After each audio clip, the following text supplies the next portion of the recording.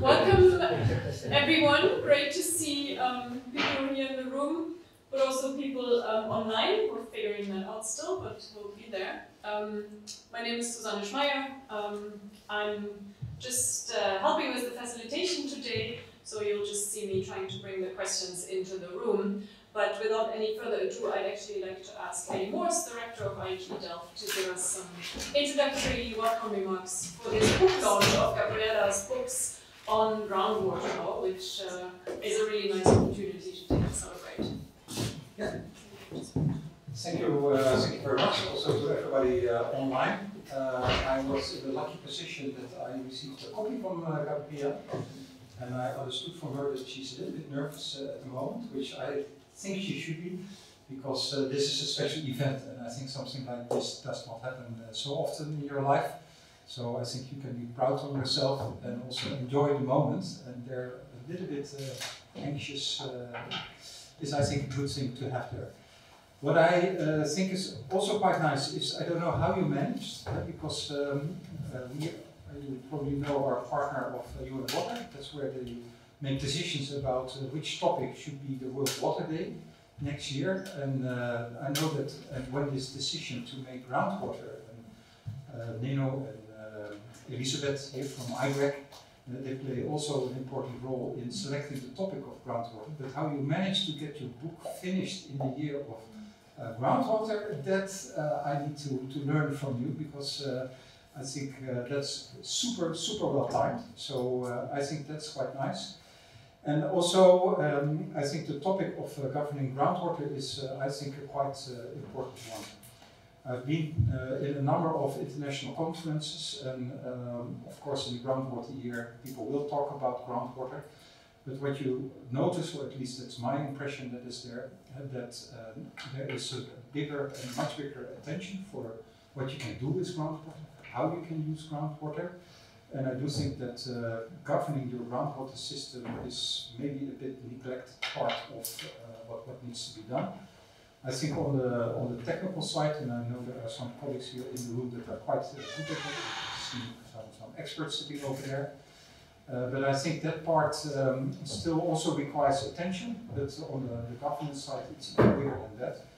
Um, I have not read the full book yet, but reading uh, just through that part, uh, something that uh, really struck me uh, also in one of your conclusions was actually that you also mentioned that in some cases it's not about the lack of investments that um, hampers actually the development of groundwater in a good way, but in some cases it could uh, even strengthen actually the way how people treat groundwater.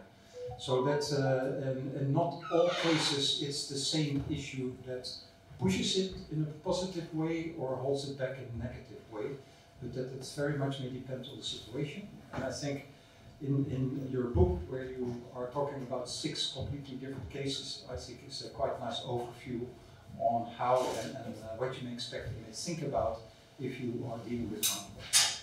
So with that, I would like to congratulate you again, and also on behalf of uh, maybe all other colleagues of uh, IHE here, and we're really looking forward also to read uh, the remainder of the book, but also very much looking forward to, to your presentation of your book.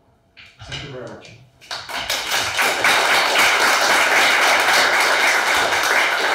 Thanks a lot, Eddy. We'll come to the main part, the actual launch of the book now, which is um, the part when Gabriela, Gabriela um, Talo will talk about her book and tell us what she actually found out in her research and what's learned from it. Gabriela, please.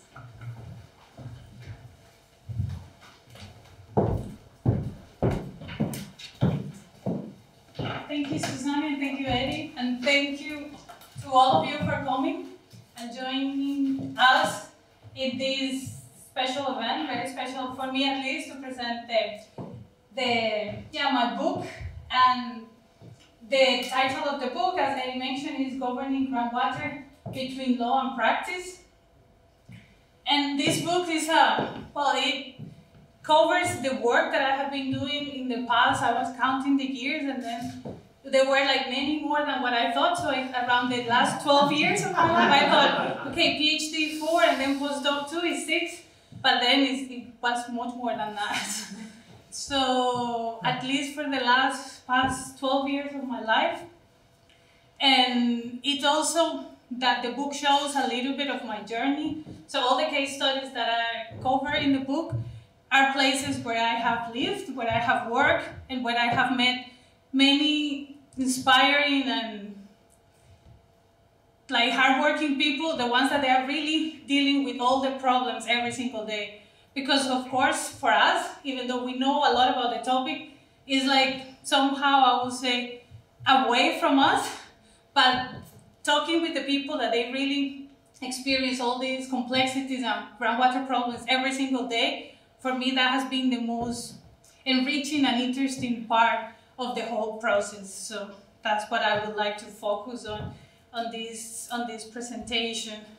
So just to say also a little bit about the idea how this book came about, that was in 2017, so five years ago, when I had the, my first meeting with Joyeeta, when I started my postdoc here at IHE Delft. So I was moving from India. We were living in, in India. My partner is also here.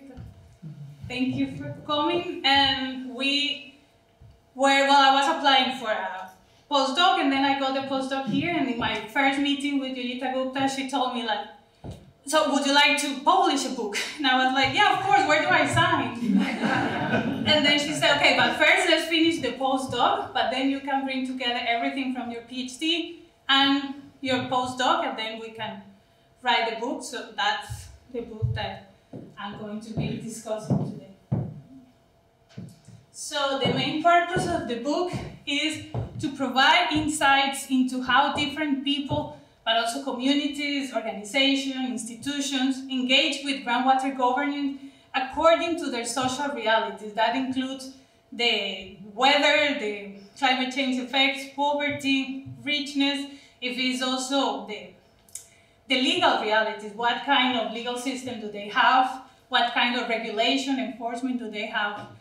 So while at the same time I was examining the law, I said that before, so how law is being drafted, developed, and also implemented, and how this has contributed to the transformation of groundwater governance. So basically, I wanted to look at two things, right? What people do at the very local level, the practices, why they do what they do, and how do they do it, if they protect water, if they pollute water, if they, how do they share water, but at the same time, I was interested in looking at the law, okay, how the more formal structures are also dealing with water. Do we need a permit to extract water? Is everybody having a permit or not? So try to mix these two and try to understand to what extent they are actually linked. And if not, how and why do we have this like lack of connection between them? the different practices and the different laws and regulations. So my overall research questions were how can the conceptualization and theorization of groundwater law and governance be improve by examining groundwater practices while having equity and sustainability as an entry point?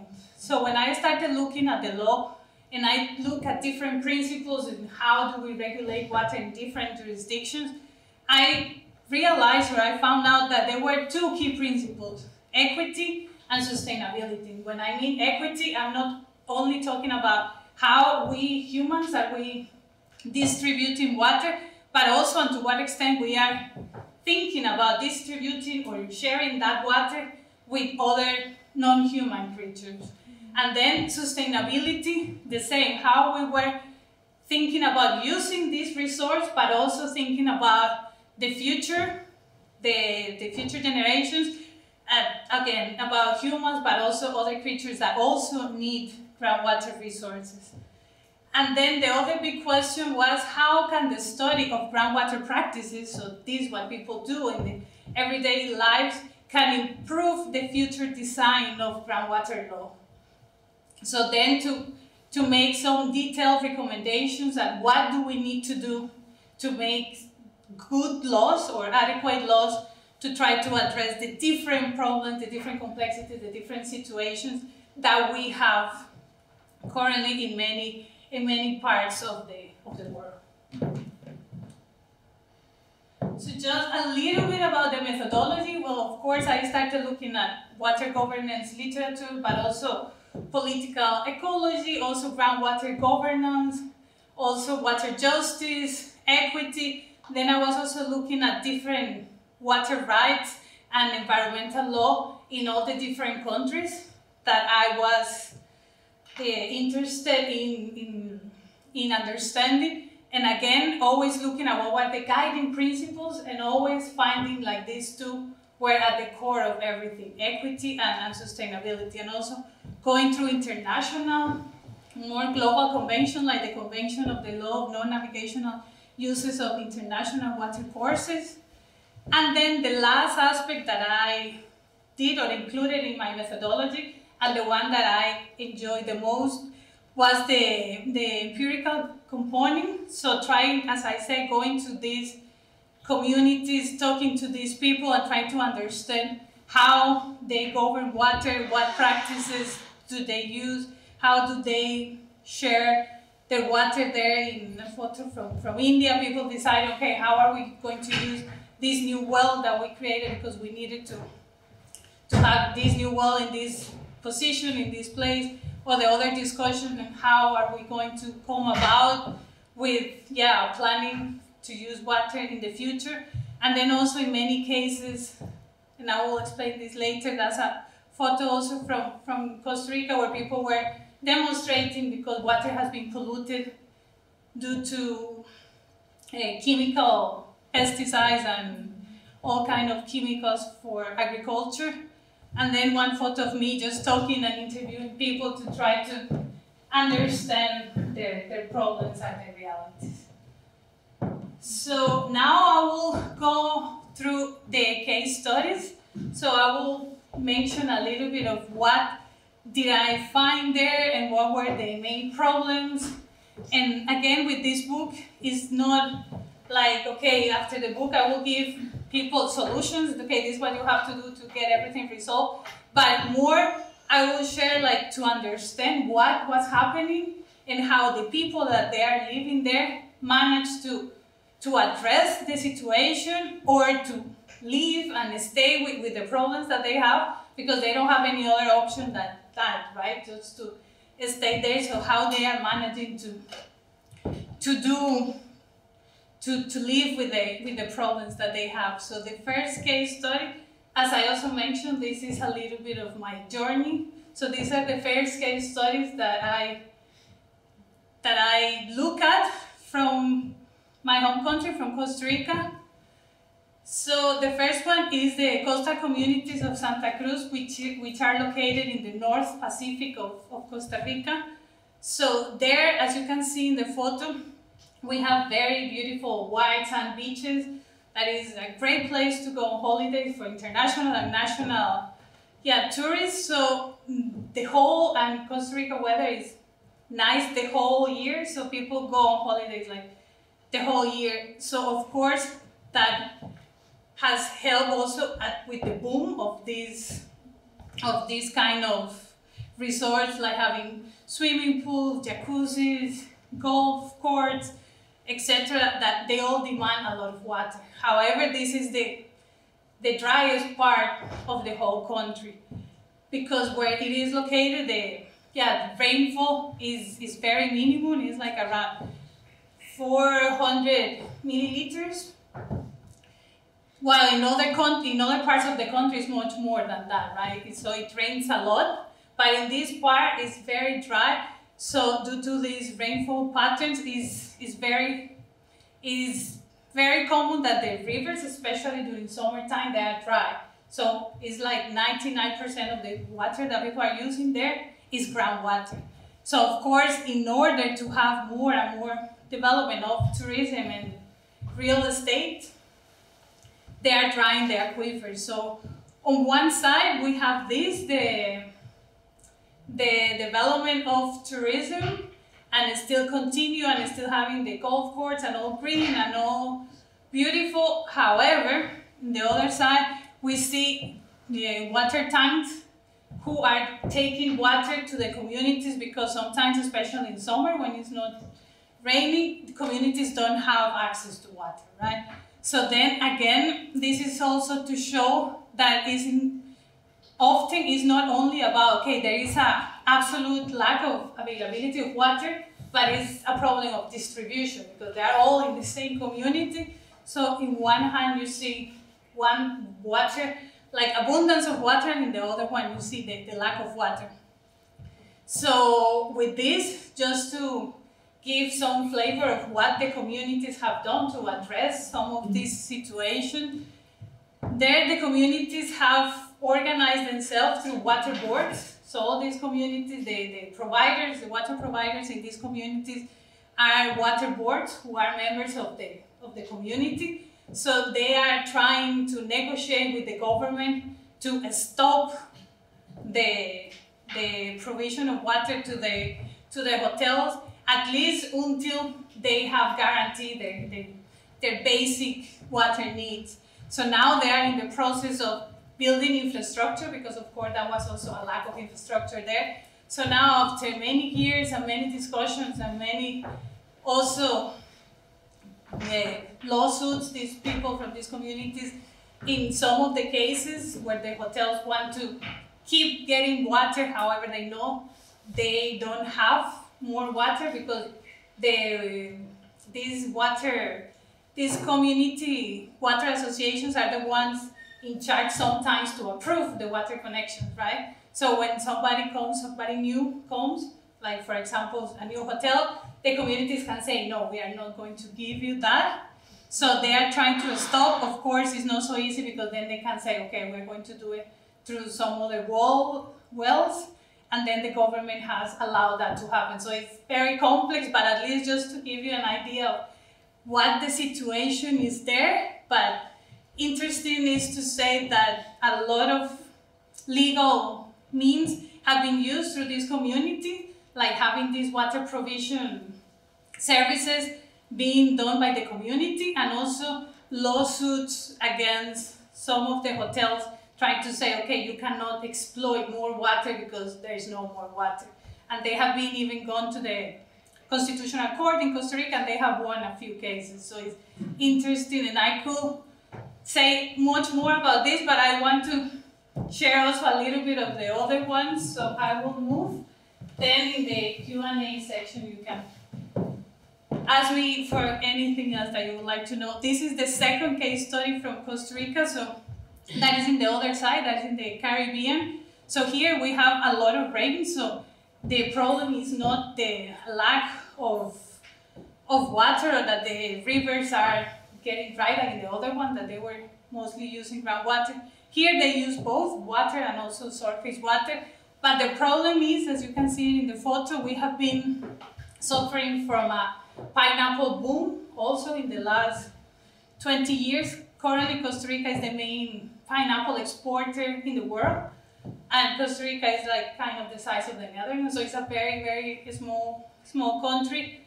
And in all these in all these communities, what you see is like something like this, like like what is shown in that in that photo. So there were like rainforests and everything has been deforested. And now it's very common to see this. And then you will see this like all the all the expansion of the pineapples there. And a lot of use of all kind of chemicals that you can imagine. So it's like pesticides and fungicides and everything, of course, to protect the, the pineapple against the bugs and everything. So all this water is infiltrated into the ground, into the soil, and then it's going to the groundwater. So all the rivers, all the aquifers in these, in these communities have been polluted. So the problem there is that the communities don't have any kind of water that is not polluted. So there is water, but it's is completely polluted.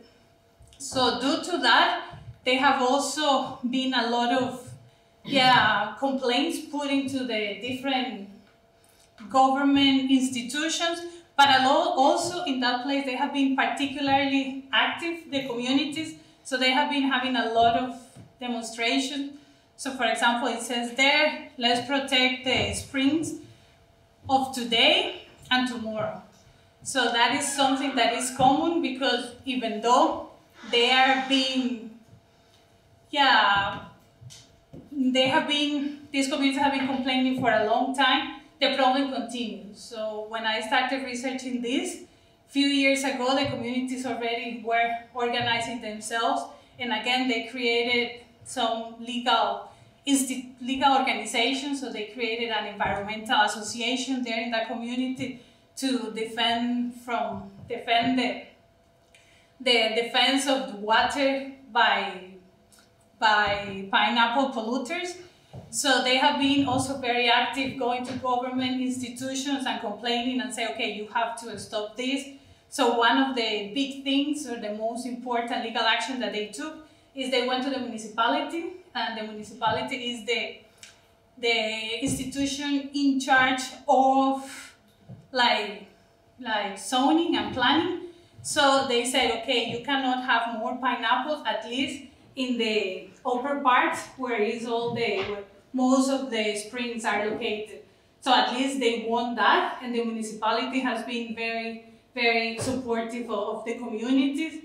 So that has been also something good that they achieved through legal means. And as I said, also besides or outside the, the legal means, they have been demonstrating often, and they have been, some of demonstrations have been also a little bit heated. And But again, it's something that is, I have been doing research on this for many years, and the situation, unfortunately, again, continues to, to grow. And the problems of the pineapple expansion in Costa Rica continues to grow and the communities continues to complain, but I think at least the important thing is that they are not giving up.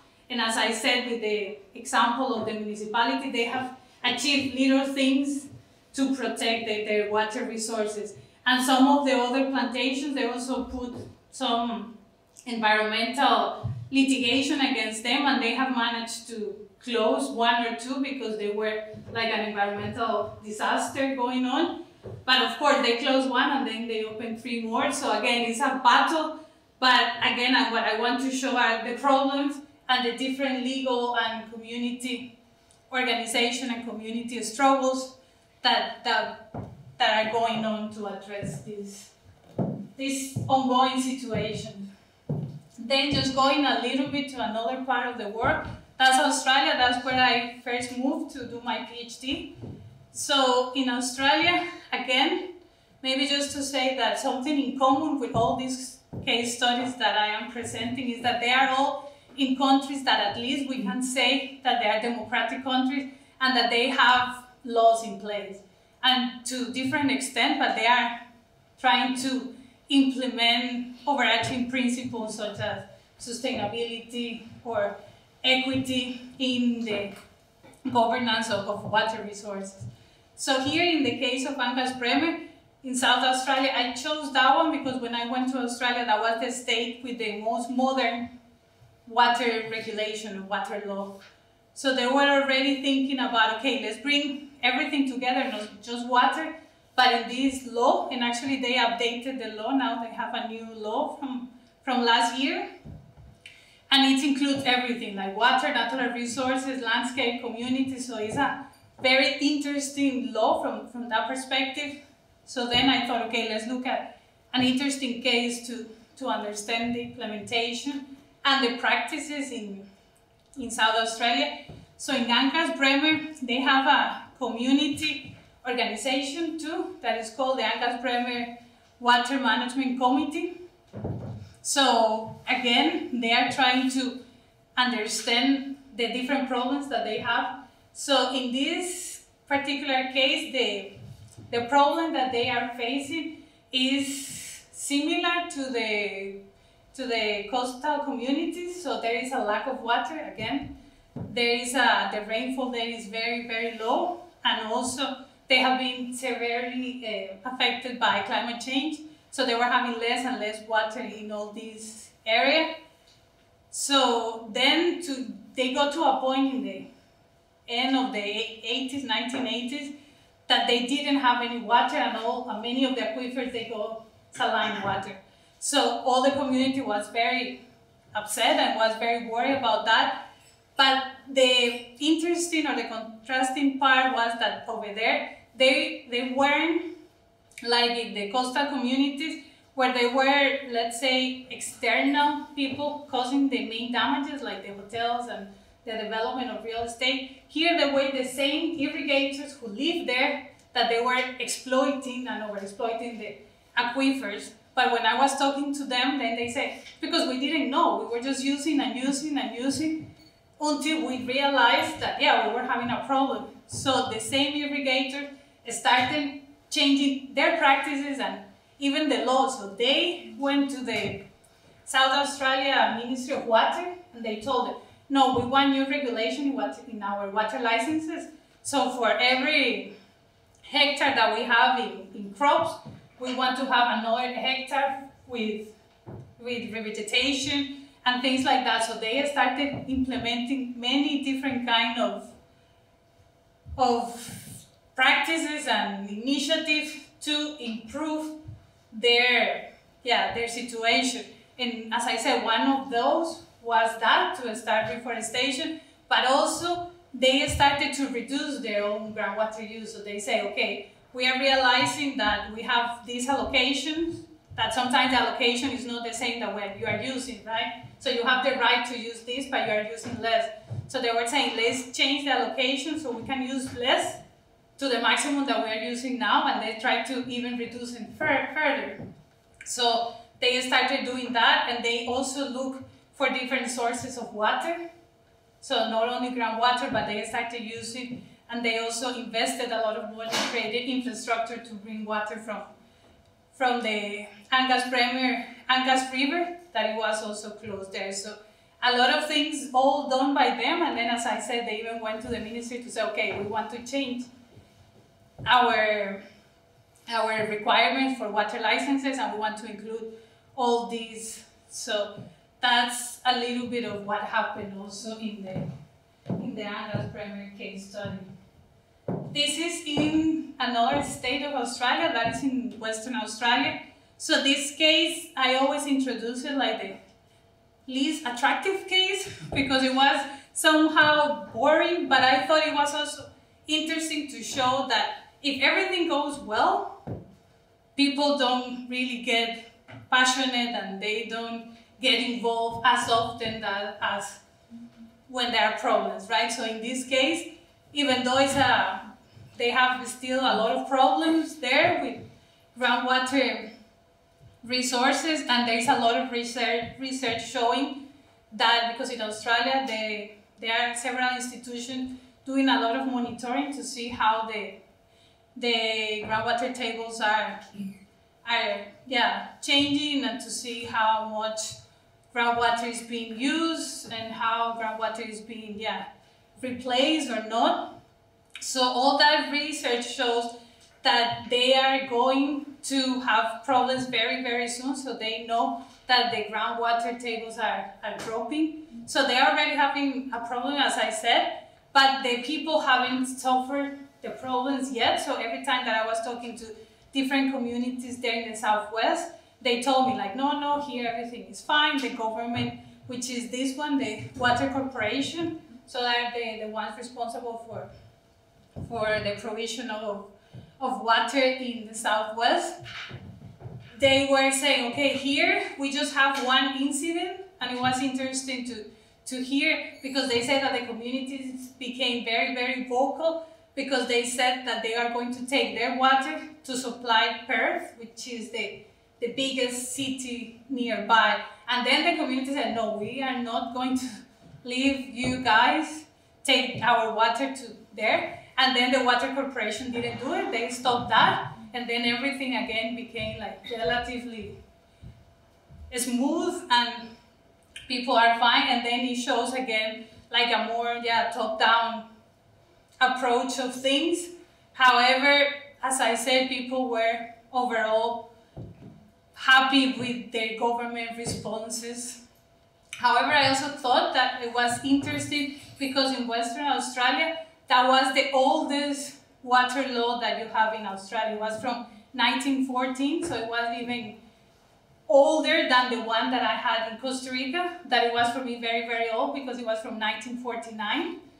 And in comparison to the one in South Australia, as I said, that they just uh, they just amended the law and now they have a new one that it was is from last year. So again, you see uh, that sometimes even though the law is old and still there weren't so many problems there. However, some of the recommendations that I get from this particular chapter is that the law needs to be revised. But it still is interesting to see how the community's responses were, were overall okay. Then we moved to India. Then that was the, when I finished my PhD, I went to India and I was working there with the NGO, with, with SOPPECOM. So with them, I started understanding a little bit of the situation in Maharashtra.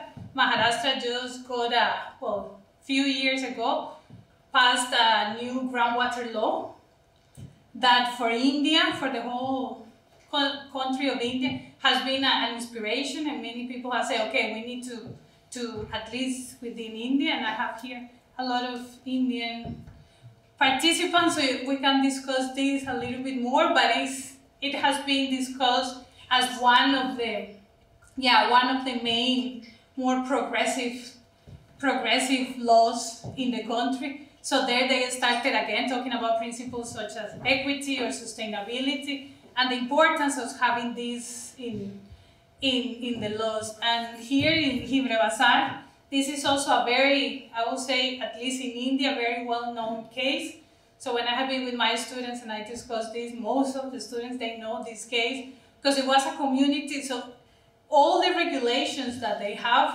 they were completely done bottom-up approach, right? So the community said, okay, we, in the 70s, 80s, they were having a lot of problems. They didn't have any water whatsoever.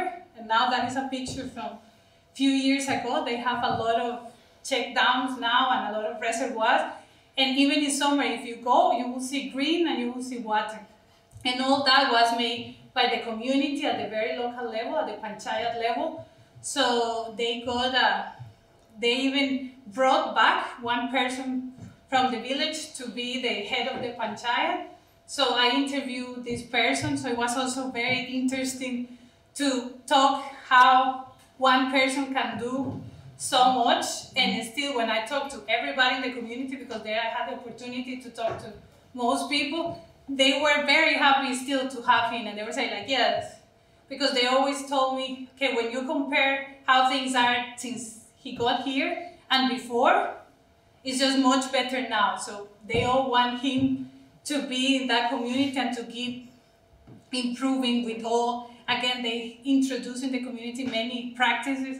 They did, they stopped the free grazing, so now that is legal, and that is photo of that. They were also having a lot of groundwater recharge going on and a lot of reforestation activities. So all that again was done from the panchayat level and with all the communities because at the panchayat, all the people who are over 18 years old, they can vote in the panchayat and participate so all these activities have been done with, yeah, the approval of 99% of the, of the people.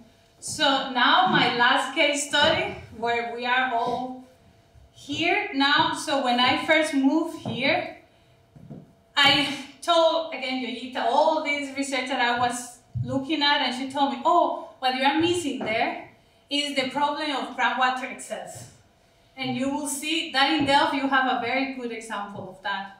So I thought, okay, I will start doing research on this. So I started looking and reading and actually in the newspaper that was very, very active. I don't know if you follow that discussion, but at least in 2017 when I came, it was a very, very hot topic because yeah, Delft was in danger of being flooded, or I think it still is. So Again, all these cases are ongoing cases, so they're not like final conclusions yet, but at least, as I said, some yeah, some experiences that I have gained or some lessons that I have learned or some experiences that I would like to yeah, share and that's again the reason of the book. So here the main problem is that this company DSM, which is like one or two kilometers away from here, actually we went with some of our students, I think two years ago, class and myself, we took the, the students there because we were trying to understand groundwater governance here in Delft. So this, this company, they have been extracting groundwater since 1916.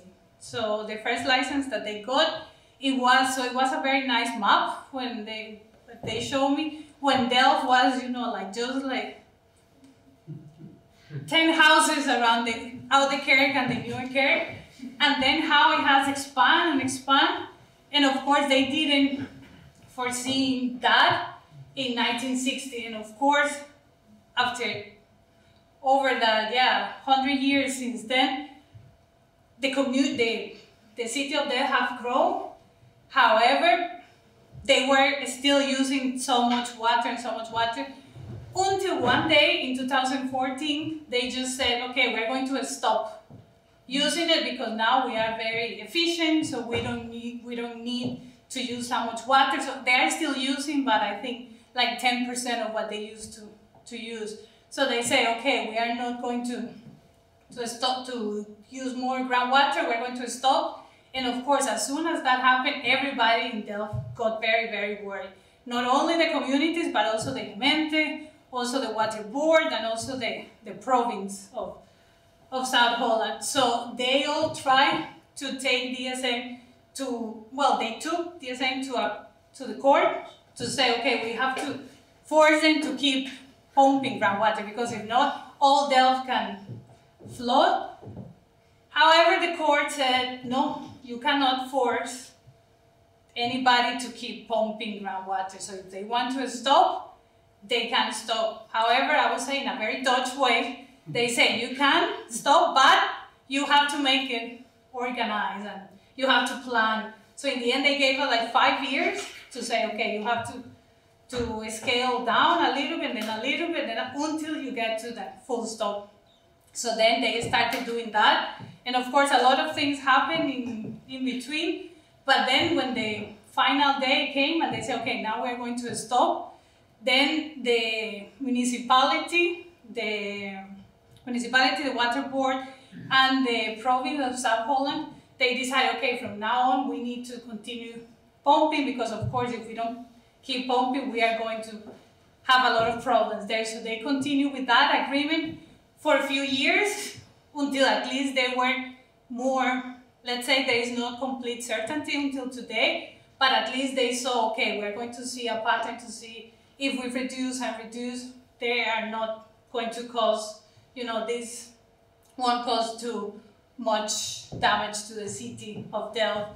So in the end, they were kind of convinced that that was going to happen. So in the end, the South Holland, the province of South Holland, they left the, the agreement and they said, okay, now it's only the two of you, in the hands of the municipality and the water board, and they pay a lot of money so the two of them could continue because they decided that it was good enough and then the water board did the same thing. And they say, okay, we now know that things are doing well. So this, the, just to continue with the monitoring, the Gemeente can do it alone. So then I thought, okay, it would be interesting to see what the Gemeente has to say about that. And then when I talked to people at the Gemeente, what they told me is like, well, basically that happened because we were sleeping. That's their response. So, you can imagine that the other two, even though they say, okay, now, and there is also, you can see it even online, how the monitoring is going, and apparently, as I said, things are okay, but again, there is no certainty of, of that, and the municipality is the only one that is still involved because, as somebody told me, they were sleeping, and now the idea or the plan is to get to a complete stop by 2030. So we are going to see if that happens or how that happens, or if in the end we need to come back to a yeah and another agreement with the three main government institutions involved. And at the same time, while all that was happening, I also talked to to the to some people here in Delft that they even created a association. I don't know if anybody who lives there is part of this neighbors association, but they were very, very worried about what's going on. So they have been very active to check that everything continues and the monitoring, and they even have said like, okay, if we have any problems, or for example, yeah, some flooding happens, we are going to take legal action. So some people were discussing that with me, and they were telling me that.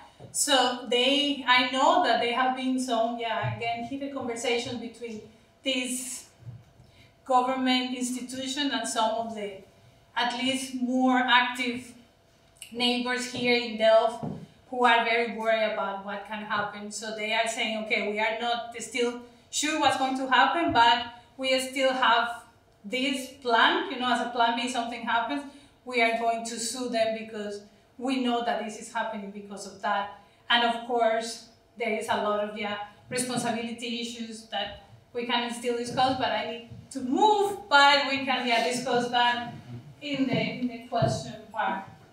So just to, to conclude, some of my main conclusions is that groundwater governance is a work in progress.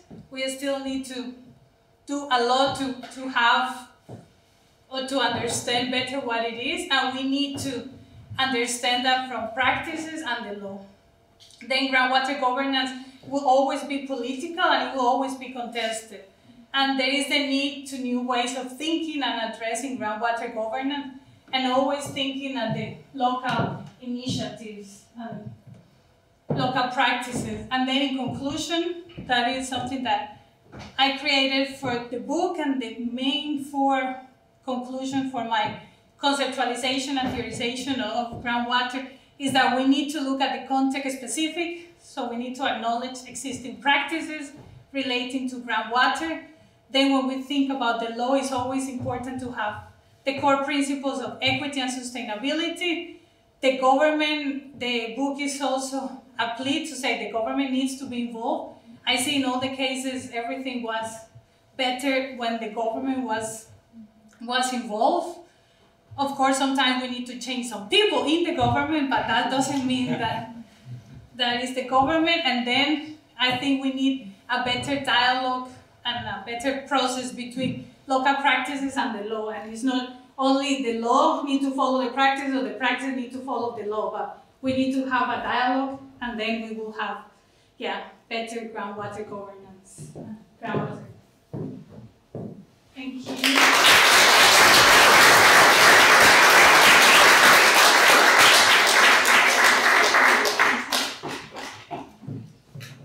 Thanks a lot, um, Gabriela. That was super interesting, and uh, I could have listened for another hour or more. And um, I'll be waiting when we get wet feet here at IHE. Um, this is um, the local level, and Gabriela has emphasized very much the local level of groundwater governance. But of course, that's all embedded in the in the more global sustainability debate and the different principles of how we govern the environment, water, natural resources. So we have um, Gupta with us, who's also a professor here at IHE, but also at UvA, whom I'm just trying to convince by looking at her that she will give the uh, five-minute input that she had prepared and share some thoughts of how Gabriela's work is actually embedded in the broader global sustainability debate. I did convince her. Now, um, it, was a 15 minute presentation that I prepared and I'm not going to cover it because I don't think there's time given how this has gone. So let me just tell you a little bit of anecdotes about the story and not get involved with the rest. All I know is uh, Gabriela came to IHE and after I met her, I stopped eating pineapples. because uh, every time I bought a pineapple, it was almost always from Costa Rica and the story about the, the fight between local people and these big multinationals was more than evident. And so um, what I wanted to actually say a little bit was that um, through history, actually, groundwater is one of the earliest types of water to be governed because it was always in areas where there was no water.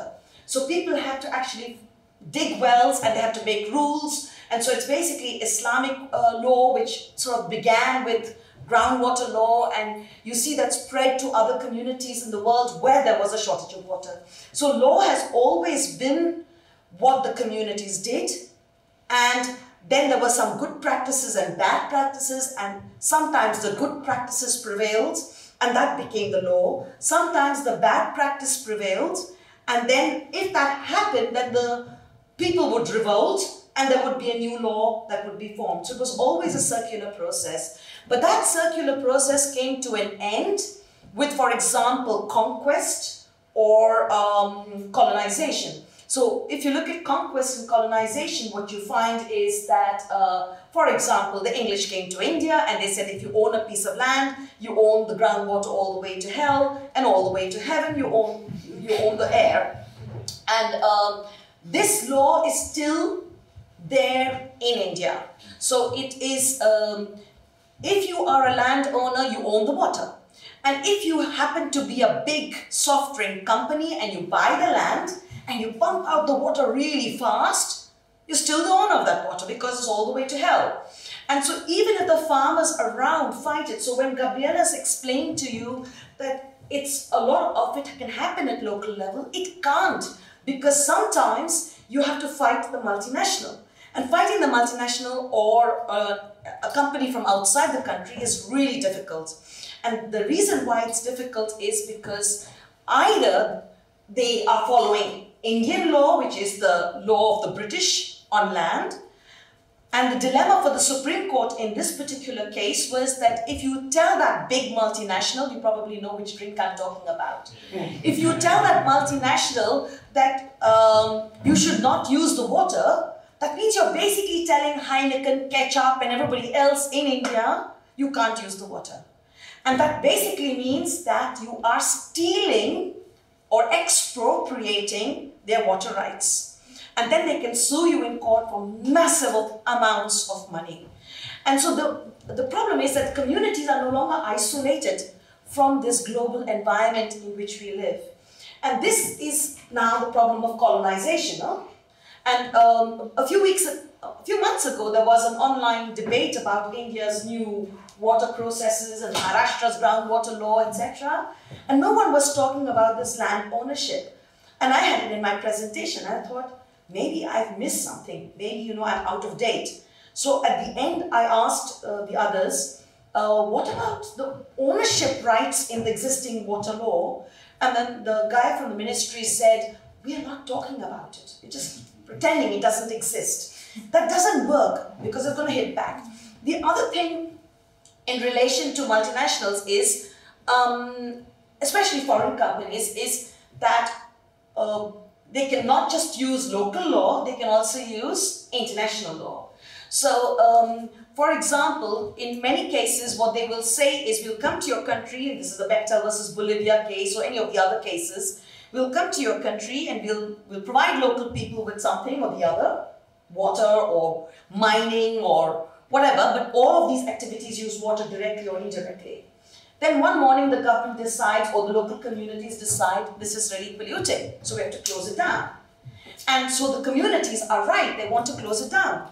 And so they try to stop it, and then the government suddenly realizes it's got an international contract under a, um, a law, investment law, which falls uh, under a New York jurisdiction or a jurisdiction somewhere outside the country. And essentially, they cannot close down the factory without paying that huge amount of compensation. And most of this is secret.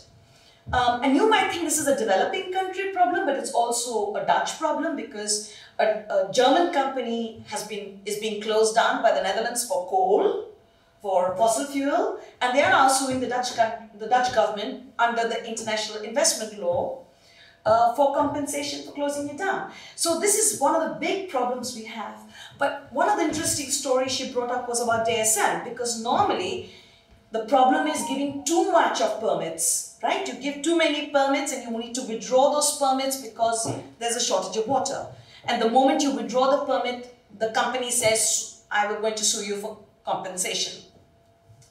And uh, we've done now 60 countries. So, so she has done four detailed anecdotal stories six detailed anecdotal stories, but we did 60 countries, less detailed, to find out in the developing world how these uh, permits work and how these contracts work. And apparently you cannot take the permit back in many countries without paying huge amounts of compensation to that company, whether it's a pineapple producer or it's a soft drink or a hard drink or a mining company. So it's very difficult for governments to cope with this. But to come to the DSM case, which is completely different. Here a company says, bye-bye, and I'm going off. And now the problem is that the municipality has to pump out the water to make sure that the city doesn't get flooded. So who's going to pay the bill in this case? Technically, it should be the municipality because it's the other story. And it's interesting to see how it has developed in her, her particular case. But I also wanted to, um, and I'm not going to show you, she's uh, so complex and slightly, um, is that um, you were talking about in one of the cases about the human right to water and uh, in the Costa Rica case, the first case you discussed, and the needs for other kinds of investments, tourism, etc. Um, we've scaled that up to the global level. So we looked at um, what would happen in 2018, so before COVID, if you provided everybody with uh, access to food, water, uh, energy and infrastructure. Um, so we're talking about more than one third of the world's population that doesn't have access. So in an unequal world in 2019, um, 18, sorry, unequal world, you're polluting so much. What would happen if you added uh, this access? Would that increase your CO2 emissions? Would it increase your groundwater use? Uh, would it increase your pest, um, phosphate and nitrate discharges, etc.? And what you basically see, you cross all the boundaries. And uh, so we gave all the calculations. We worked out what the human right is, and we worked it out in terms of how many calories or how much drinking water. Then we calculated it all into CO2 and then temperature change, or into phosphorus use and boundary boundaries. Anyway, to cut a long story short, uh, basically the message is if you want to meet the SDGs on social issues, you, there's no option but to redistribute water, which is also the story you're bringing up, which is about equity and justice. But to end on a little bit of an ironic note, when it went for review, the reviewers came back and said, but you don't discuss technology. And we wrote back to them saying, but we're talking about 2018. Because every time that you talk about 2050, people say, oh, technology will solve the problem. And we were saying, in 2018, technology cannot solve the problem. So unless you can tell me how we can do it. And in 2023, it can't solve the problem. So, you know, you're not can't postpone meeting the basic needs of people and meeting planetary boundaries ad infinitum because you think technology will mean that law doesn't have to redistribute. It's a very big challenge, and I leave it at that, and I won't show my sheets.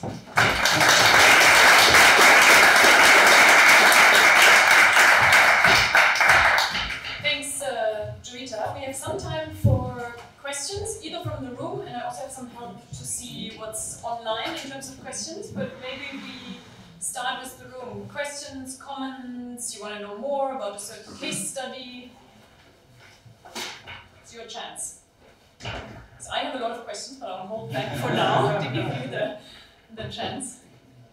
Or we can go and start the drinks and we can. No, have the the questions. They, they have to be earned first.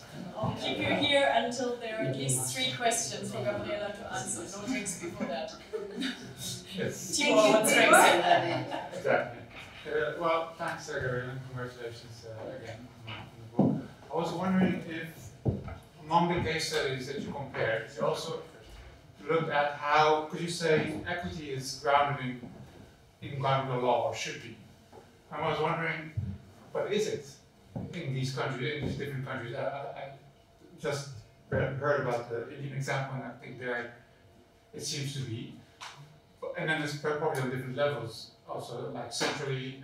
So how, how would you say that that, that equity and sustainability aspect as well is already there, or are many of these ground laws immature and actually do not know or are not even aware of how you would address equity?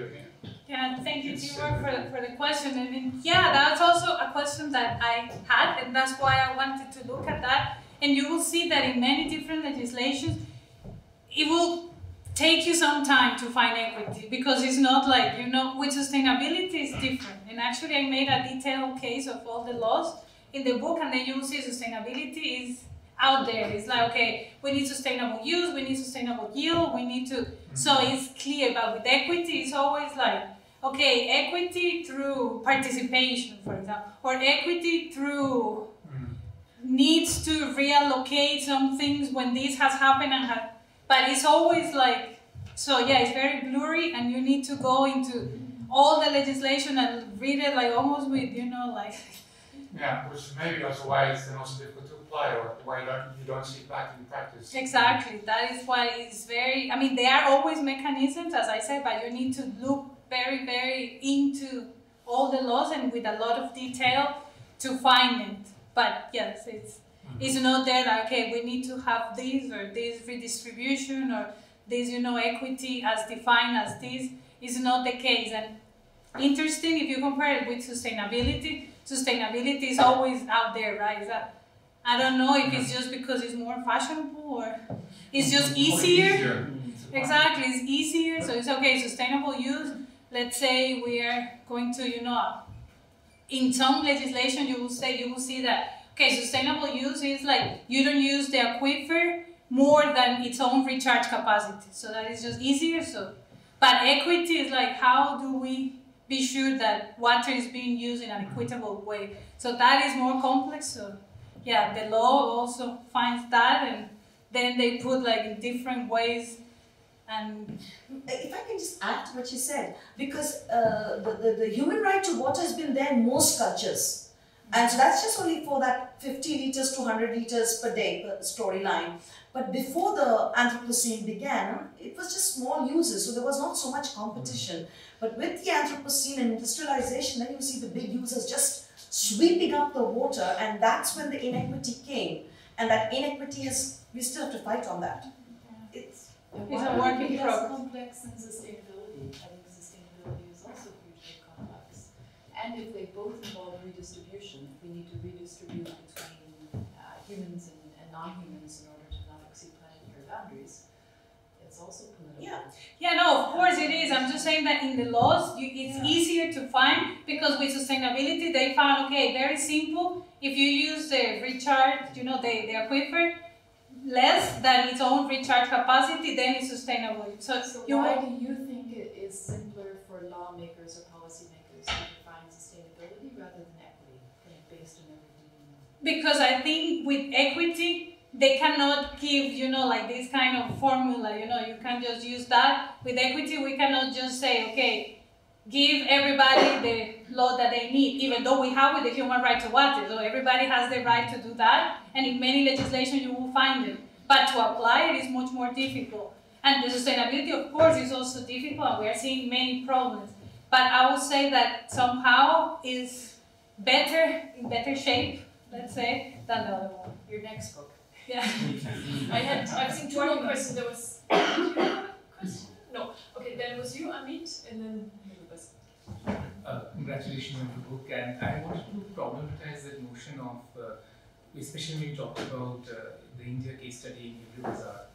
Uh, for example, the constitution would guarantee protection around caste and class in terms of accessing groundwater compared to perhaps what the community organization would, especially around caste in terms of who gets to access groundwater and who doesn't, especially the landless and uh, others. So I'm trying to understand how does that contradiction work, where equity at the local level, where these laws are emerging from, is also very problematic in the Yeah. way it's being conceptualized. But the constitution actually guaranteeing protection. Yes, for, for, for the Indian case study, I put a lot of attention to that, and actually in the book, I put it like that. Like when we talk about equity, it's very, very difficult to think, okay, communities are a very good example for, for this, or community practices, because of all practices of injustice and caste and discrimination by many different castes, only one, but gender and many different. So yeah, that, that is definitely there. But in this particular case,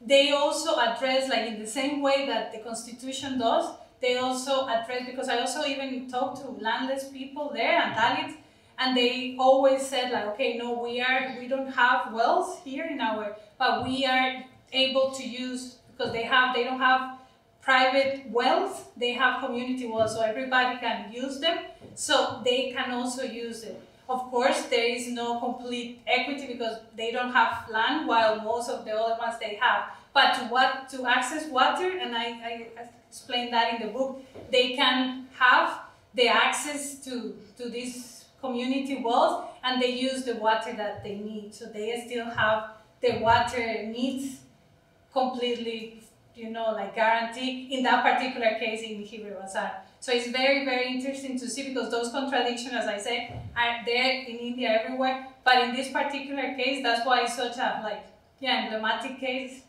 because they are also taking into account that gender and caste and try to redistribute as in the best way they can. And I think again, the leader of the community, Popatrao Pawar, I also uh, interviewed him and asked this particular question, and he is, you know, like on top of that. So that is something that is happening now. Very local. Thank you for the question. You first, yes. Okay, thank you. Uh, congratulations, Gabriela. I have two questions. One is, uh, uh, do you have you seen across the case study uh, if uh, centralized or decentralized system is key for uh, improving the situation of the governance on, And the second one is that do you think, or have you seen in the different case study, if knowledge, uh, understanding of the of what is happening, uh, of the groundwater process, etc., uh, by the local uh, community also um, is key or can can improve their ability to to not, not to solve but to, to deal with the groundwater governance. Yeah, let's go to the first one first, and I will say that in all the cases and with all the knowledge that I have so far, I will always recommend decentralized way because in the end, groundwater is a very local resource. And again, people know their wells, people know their water resources, their groundwater resources, they know how to use it, they know if there's a problem, they will feel it immediately. So I think the more that you can decentralize that, it will be the best. And of course, at the national level or even at the international level, I will always suggest let's have these guiding principles, again, like equity or sustainability. But the more day to day, how are we going to implement this or how equity would look like here, it has to be at the very decentralized way. And the second question, sorry, I forgot. No, about knowledge, uh, understanding, because uh, it's, I think it's sometimes difficult for the communities to understand what is happening uh, with their resource and uh, to have the right fight. yes, that, that is also, yeah, very interesting point because that was one of my first like entry questions for them. Okay, how is the situation here? with groundwater. So I saw that when there is a problem, people just get involved and they look for information. And I think all of us we will do the same, right? If suddenly you open your tap and you don't have water, you will just go and look for information. That's late, no? Yes, but I will say that people react very late for everything. If no, we will be doing, if no, we wouldn't get to that point. If we were doing things, you know, in the right manner to begin with. But what I saw from all these people that I talked, and again with the, my boring case, that everything was kind of, they're not doing really anything because it was like, yeah, the government is fine, we don't have problems. Just one day they have one big thing, but most than that, it was okay. So yeah, I think when, yeah, when they have problems, when they have the, these so-called crisis, is when people start wondering, okay, what is happening? And for example, with the irrigators in Australia that I say they were the same ones causing their problems because when there's somebody else it's more complex. But in that case, I told them and they told me like, we didn't know, we were just using and using and using and we thought we were having water forever. Well, did we have the problem is that we thought, okay, we need to do something. And then we started doing research and we told the government, you have to come and teach us. And then they got the expert from the government, like hydrogeologists and hydrologists and a lot of people teaching them, okay, how the aquifers work and how they recharge and how all that. And then they were building this knowledge that then they just took it to the next level. And this when they started doing a lot of these activities to, okay, we are going to do many different things. I just want to nuance her, uh, her previous answer because in ancient Islamic law, they basically said uh, if you have a well with water and your neighbor's well is dry, another community, you must share. And the problem is if you decentralize too much, those who have the water will not share with those who don't have. So I, I, I seriously think not total decentralization because it will be it'll be just like with the problem that we're having now with the uh, with the um, international uh, groundwater law that countries are saying this is my water, groundwater, I'm not going to share it with you. And, and, and you have to watch out for that. So I would say you still, for the sharing aspect, you may need to go beyond completely decentralized approaches. Yes, no, that's what I said. I think mainly decentralized, but there has to be, you know, something national about equity or, or distribution, or even, yeah, taking it to the next level. Yeah, like yeah, avoiding, you know, pollution or deforestation or, of course, there has to be something broader. But I think for the day-to-day, -day, you know, how much groundwater can they use, the permits that they do, that it is very, very local. Because, for example, one of the people that I was talking in Costa Rica, they were telling me, oh, to drill this well, I need a permit, but I need to go to San Jose, and for me, that is the entire day. I can never take a day off, so I'm using water without a permit. So if they were having something more local, maybe there will be better. So but that's not decentralization. That's simply making facilities available. So let's keep that. let's maybe also take one more question before we move to the drinks. You had a question. It's not exactly a question, but first of all, congrats on the book. And it's just for the Indian case of Hivre Bazar, like the uh, discussion around equity and sustainability. Like like we see, that it's very difficult to get equity in terms of it cannot be quantified, right? But what, why in sustainability gets picked up in policies is because it's not only related to indicators of groundwater recharge, but what happened, what caught the case of this uh, specific case is that now there people had like the per capita income of around 12 US dollars in 1990. Now they have a per capita income of around 450 or 500 US dollars. So that picked up a case. It's about a case about 60 millionaires in a village and only three or four families below the poverty line. So that picked up the case and then it got more government talking into it, like why it happened and everything. And then the Popatlal Pawar, the uh, Sarpanch, he is now appointed as the head of 100 villages to replicate the same model yeah. only based on the sustainability of what he achieved during the model. So it's not only I think about the uh, aquifer indicators, but also about other indicators such as you know income level or everything. Yeah. That increase only in this particular case, but we are not sure without studying the equity case if it is sustainable in 100 other villages as well.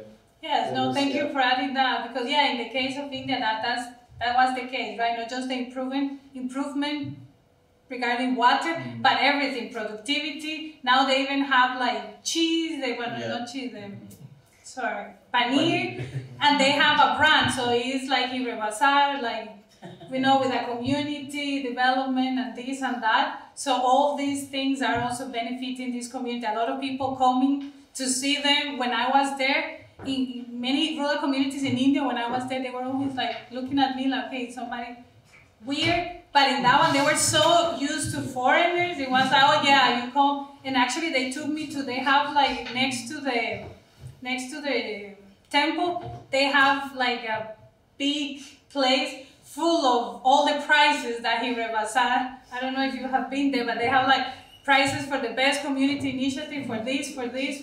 So it's like a very, very so yeah, a lot of things are also happening beyond groundwater recharge and sustainable use of groundwater. Do we have any questions left, or is everyone waiting for the drinks?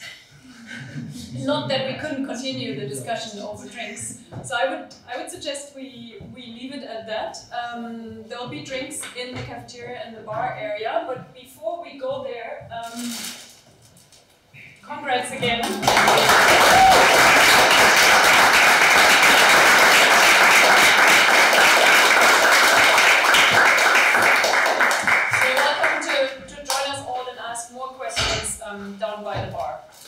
Thanks for everyone participating online. I'm not sure which camera it is, but thanks a lot.